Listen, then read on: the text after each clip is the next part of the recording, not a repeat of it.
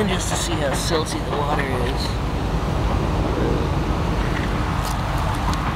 And the surface here, this is actually quite hard, this, this gray stuff. This isn't behaving like usual.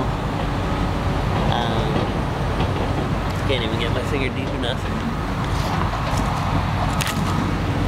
Right here, yeah, it's quite silty water.